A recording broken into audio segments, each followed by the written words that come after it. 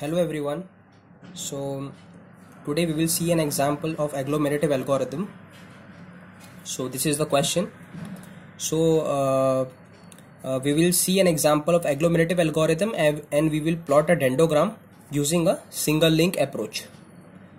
So uh, in the question we have uh, been given the sample data items and the distance between each data item in a matrix form so in order to solve this problem uh, we have to follow certain steps. So I have uh, written these steps uh, over here. So we will go step by step. The first one is we have to first find the minimum distance from the matrix. So uh, we have been given a matrix. So uh, we will consider the matrix like this because uh, we will consider half of the matrix since since distance from uh, A to E is same as distance from E to A. So uh, since the distance from A to E, this one is same as distance of E to A. So we don't require this part.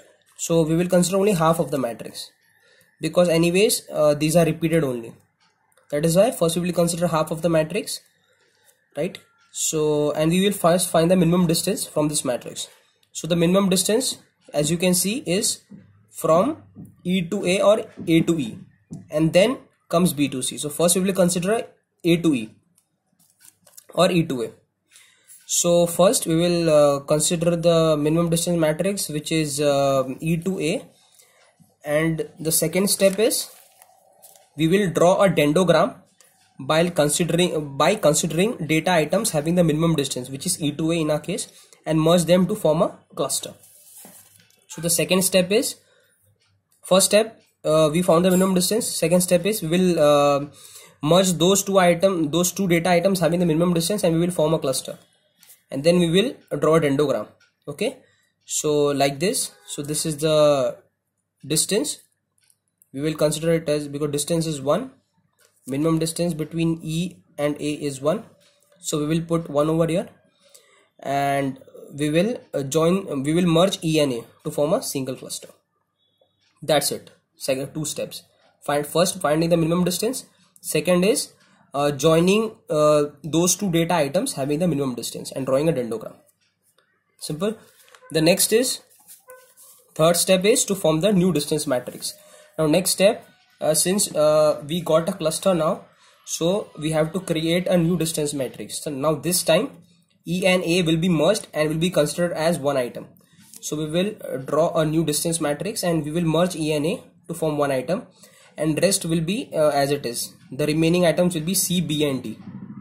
Okay. So previously E and A were different. These all items were different. Now uh, since we got the minimum distance, so we merged E and A to form this and the rest is as it is. Now we have to find the minimum distance between these two pair EA to C, EA to B and everything like this. So this time also we will consider only the one half of the uh, one half of this matrix because next half is similar will be similar to this. So uh, we will find uh, these all part. So the first is distance between EA to EA which will be 0 and the next will be distance between EA to C. So uh, we have to find the distance between EA to C, B and D okay. So how we will find it? Uh, we will consider distance of EA from C EA from B and EA from D. Like we have to find distance of EA from C EA from B EA from D. Or you can say distance from EA to C EA to B or EA to D. We will find this row this column. So the distance of EA from C will be distance of E to C will be which will be minimum of distance of E to C and A to C E to C and A to C like this. So distance of E to C will be from here. What we got? Distance from E uh, E to C which is 2. So E to C will be 2. Distance of A to C distance of A to distance of C we got 2 so this is 2 so minimum of uh, from here we got 2 from here we got 2 so minimum of 2 over 2 will be 2 so distance between EA and C that is between EA and C will be 2 like that we will find the distance of each item from every other item. And we will form a matrix like this. Okay? And uh, the same step will be repeated again and again. The next step will be again same finding the minimum distance from the matrix. So here the minimum distance is what? Between b and c which is 1 so what we will do? We'll merge b and c and form a dendrogram. Okay? And since the distance is 1 so it will be as it is. So now we have two clusters which is ea and which is bc okay? Now the second uh, second step is done. We have uh, drawn a dendrogram and formed a cluster. Now the third step is to form a new matrix now the new matrix in new matrix these two will be considered as one. So what are the items we got? First is ea the next is bc and the remaining one is only d. So again we will find the distance of uh, each item from each other. So uh, in third step what we will get? We will uh, then we will what we will do we will do the same thing. We will find the minimum distance again which is 2 in this case which is between EA and BC so EA and BC minimum distance is 2 between EA and BC so we will merge them and form a cluster. So uh, the distance is 2 so what we will do?